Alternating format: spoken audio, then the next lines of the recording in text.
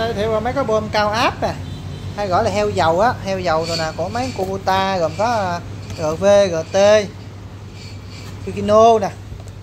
Đủ loại thôi con, chủ yếu là hàng Kubota đó. Yukino GV GT rồi đây XT rồi đây. Đây gọi bơm cao áp, hay gọi là heo dầu đó, miền Tây gọi là heo dầu đó. Đây, mới luôn nha bà con. Đây. khi bà con đã, con thợ thời gian nó đã hư heo hư bét bà con phải thay nguyên bộ nha chứ không được thay heo không đi bơm không hay bét không, phải thay đồng loạt vậy đó, mới làm việc được, ngon lành. Đây là nguyên bộ của nó đây. Bà con có mua về gấp vô nó làm sẵn đó bà con khỏi chỉnh sửa gì hết. Bà con nhớ nha thay cái này là phải thay luôn cái ti bơm thay luôn cái bét nha bét dầu nha hay gọi là kim phun á, phải luôn, thay luôn cái kim phun. Đây rồi ca luôn kia không? Đây là gọi là bơm bét, hay gọi là bơm đi bơm cao áp đi tay gọi là heo dầu đó hay là bơm cao áp này con nhớ nha nếu có thay thay nguyên cái bét luôn nha. Mua cái heo này phải thay bét thay đồng loạt hai cái như là kia, ờ, bơm ờ, bơm cao áp và thay bé cái bé cái kim phun luôn. Hay gọi là thay luôn con heo hay thay luôn cái bét luôn. Nếu thay thay ti bơm phải thay luôn cái bét.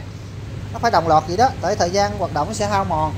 Muốn chạy ngon phải thay hai cái đó một là thay ti bơm thay bét hai là mua thêm nguyên con heo nguyên bộ bét vậy thôi chứ không được thay một trong hai nha hay là dành cho động cơ Kuta nè GV GT nè hợp tác rồi đầy đủ đó, đó. hiệu nó là GK nè thấy không 125 nè thấy không? Con nhớ phải thay nguyên bộ vậy nha.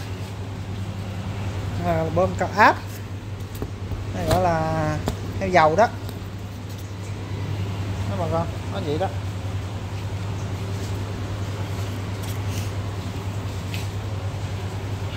Rồi con nào có nhu cầu luôn nha 088 635 677 mới chát luôn.